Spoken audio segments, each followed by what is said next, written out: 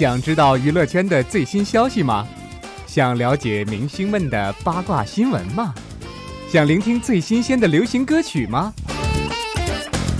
敬请每日关注娱乐秀，娱乐秀。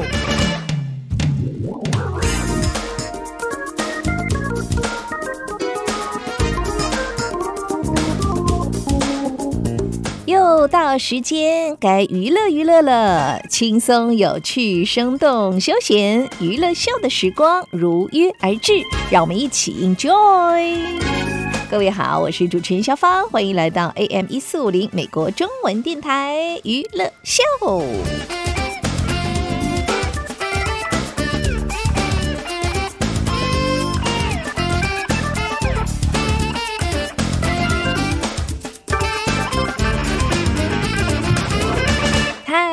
候大家！今天的节目又开始了，娱乐秀节目每天下午就在这里，AM 一四五零美国中文电台。首先来看几位哦演员的最新情况。舒淇在威尼斯海边的一个阳光大片释放出来。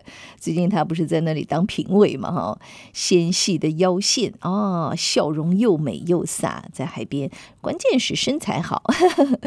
另外，这次也去参加第八十届威尼斯电影节的李梦，在社交媒体也分享了一组秋日随拍，身穿白衬衫还牛仔裤，感觉非常的。简单干练，然后戴着亮皮的黑手套，哦，非常的吸睛，一下子就拔高了那个个性度哦，在简约大气中增添了几分酷酷的感觉。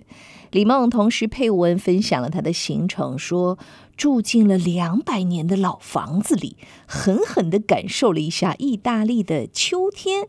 去看了一部电影，叫《爱是一把枪》。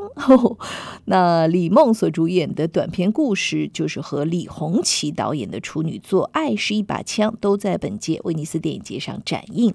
而此前呢，这两位也曾经在那个我最喜爱的陌生人，还有解忧杂货店当中有过合作。另外，香港媒体报道，也是香港的著名导演曾国祥。爆料说，与他多年结婚的妻子王敏义婚变，哦，据说要分开了，原因就是聚少离多。那现代人工作忙，这肯定的。那针对婚变的传闻，曾国祥本人并没有发声回应，但他的妻子王敏义则是在六号的凌晨，透过社交媒体晒出了多张夫妻的合照，也是借结婚四周年的纪念日。高调撒糖也是破了这个婚变的传闻，谁说的哈？那他晒了除了有和当年曾国祥的结婚照外，还分享了平时的一些呃私照，比如说跟老公深夜在街头欣赏烟花，黑色的夜空，绚烂的烟花，夫妻俩紧密相拥，无比浪漫。同时，王敏义还用英文写下了动情的文案，意思就是有你在我身边，让我成为世界上最快乐、最感恩和最幸运的人。四周年快乐，我亲爱的老公。而之后，曾国祥也回复说：“愿意与你一起的时光，慢慢的、慢慢的流逝。”啊，从言语当中根本感受不到什么有婚变哦，也是一点点的瑕疵。那夫妻之间，我觉得都有了哈，生活的磨灭磨灭了，等于说。那来自香港的这位曾志伟的儿子曾国祥，曾经做演员很久啊，后来做导演，指导的有名的片子像《七月与安生》，还有《少年的你》。那去年的时候还指导了网飞版的《三体》第一集的内容，也是为全剧奠定基调。嗯，挺厉害的哈，年轻有为。而今天，电影公司官宣了毕赣导演的第三部电影，叫《狂野时代》，发布了首张概念海报，也官宣了将会由易烊千玺和舒淇来主演。影片概述说，是一个女人在手术中沉睡。他发现意识之中存在一具仿生人的残骸，于是他用某种离奇的方式将他复活。随着仿生人的感官逐渐苏醒，然后他们一起坠入人类的意识之海。说的我云里雾里的，我都搞不清楚到底会怎么来拍哈。那毕赣呢是来自贵州凯里。二零一五年拍摄了《路边野餐》，当时夺得第五十二届台湾电影金马奖最佳新导演奖，也是该奖项历史上最年轻的得主。二零一八年，他所执导的电影《地球最后的夜晚》也入围了第七十一届戛纳电影节一种关注单元。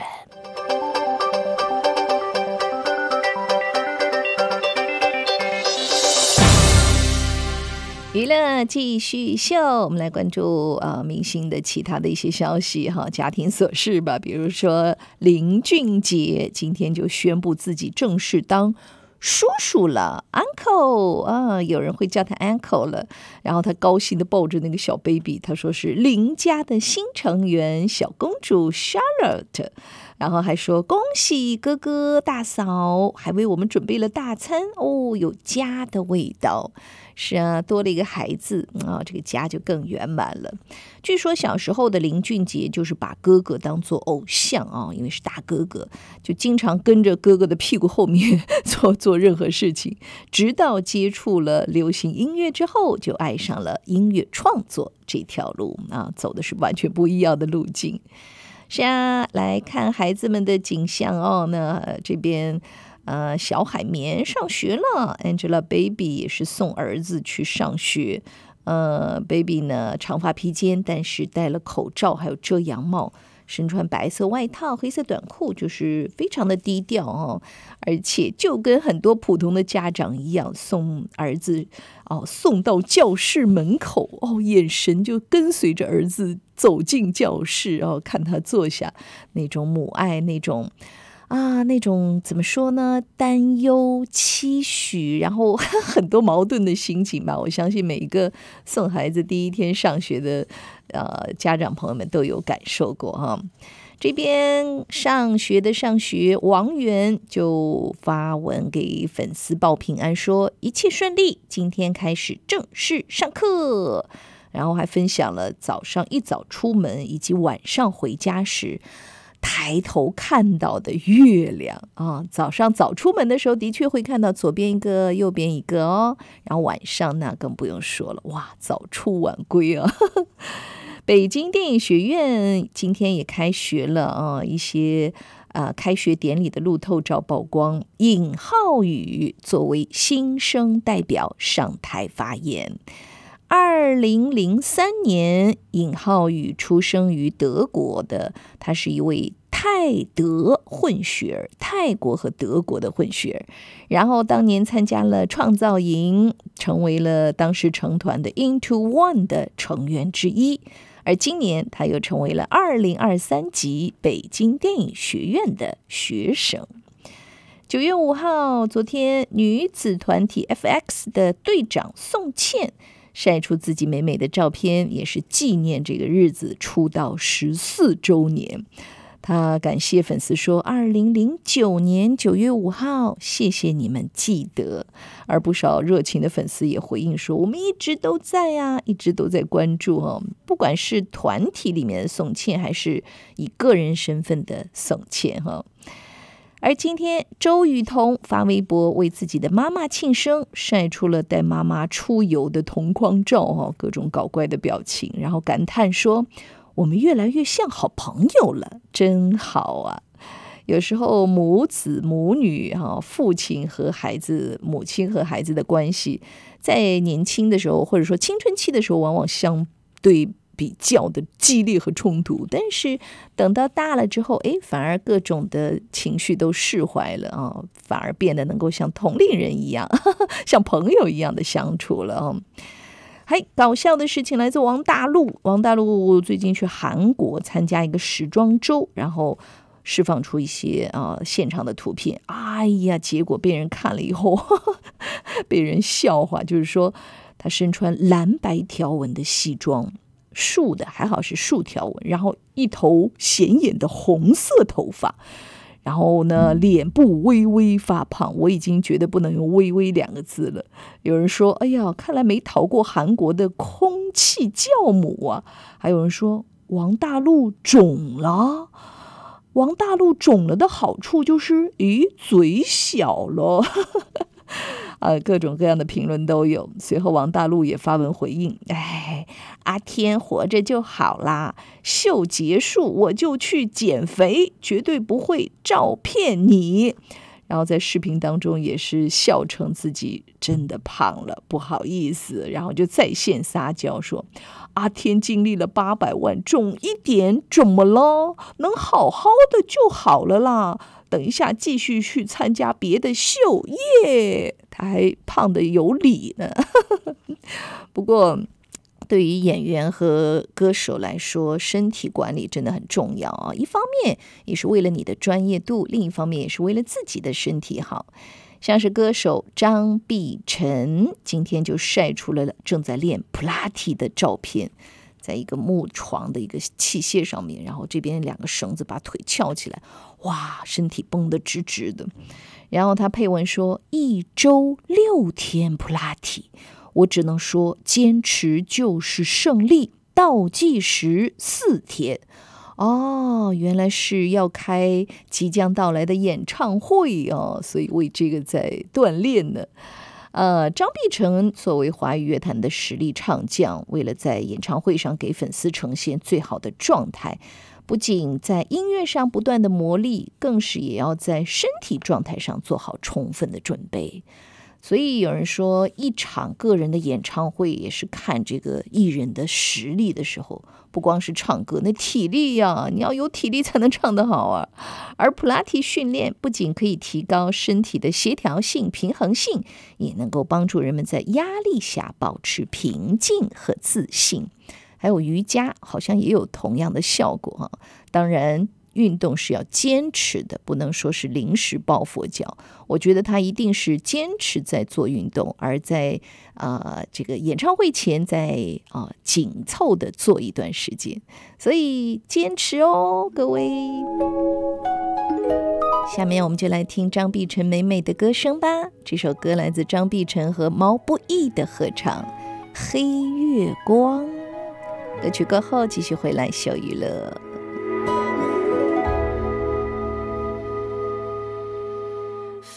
心事太眸间，忽然月上缺。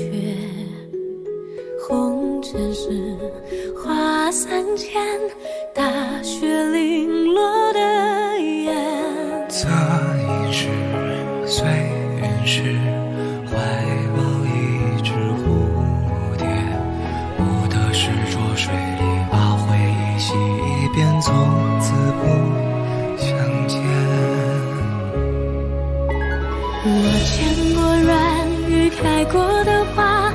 算到说梦话。青丝盘几圈，一岁无爱，一报无尽的后怕。我经历万千时光走马，独行过一瞬悲哀呀。撕去了满身雅与孤沙，前程如。故乡。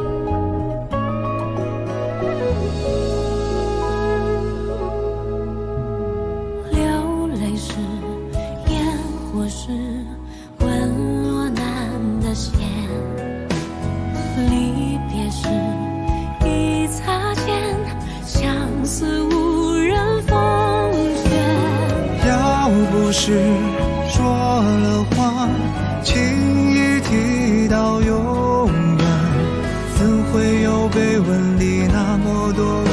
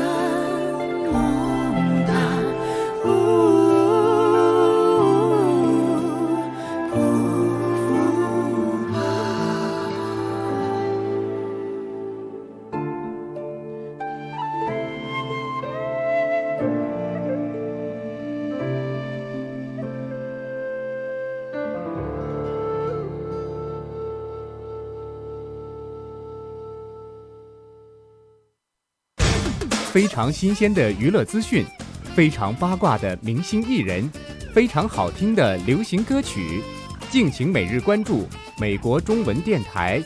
娱乐秀。嗨，欢迎回来，娱乐秀。哎，刚才那种曲调啊，就是有点像，呃，这首歌好像也是古装片的一个插曲。那张碧晨的声音真的很适合哈、像是唱这种古装剧里的，就像是古代的仙女的声音啊。欢迎回来，娱乐秀，我是小芳，继续来看电影方面的消息。根据阿加莎·克里斯蒂的小说《万圣节前夜的谋杀》所改编的电影《威尼斯惊魂夜》发布了一些新片段。大名鼎鼎的侦探波洛和灵媒的对话，激发了人们的兴趣。在曝光的片段中，肯尼斯·布拉纳对杨紫琼所饰演的灵媒表示很不相信、不屑哈，就不相信鬼魂。然后一盏巨大的吊灯就在众人面前掉了下来，让大家惊恐不已。这部影片也是明星云集，阵容豪华，有《东方快车谋杀案》还有《尼罗河上的惨案》原班啊、原版的班底回归来制作。迈克尔·格林编剧，奥斯卡影后杨紫琼领衔，还有奥斯卡金像奖得主肯尼斯·布拉纳回归第三次化身为大侦探波洛。另外还有艾美奖的视后蒂娜菲。杰米·多南、裘德·希尔、凯利·雷利，还有艾玛·莱尔德、凯尔·艾伦等等哦，重磅的演员精彩加盟。值得一提的是，电影《威尼斯惊魂夜》定档九月十五号在美国上映，恰好就是阿加莎·克里斯汀诞辰一百三十三周年的纪念日，也是想以这一这一部全新的改编力作向他来致敬。而今天得到的消息是，影片也已经定档九月十五号，同样以时间在内地啊上映，中国内地上映。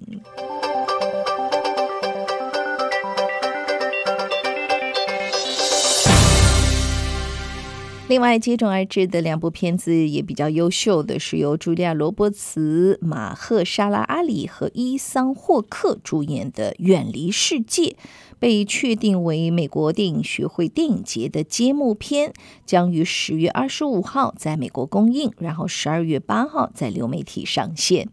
影片的故事发生在两个家庭之间。有一对夫妻去纽约长岛的偏远的角角落啊，要跟一对儿女享受清静的假日。结果他们短期租住的房子的房东也回来了，结果城里又遇上了且史无前例的大停电。那在郊区，他们的网络、电视、收音机、电话全部被切断，也就是跟外界切断了联系。而当地这时候又出现了奇怪的声震。好像是动物们在进行神秘的迁徙。总之，与世隔绝的现状加上种种的怪事，让这两家人的身体健康和心态都开始哦崩，面临崩溃。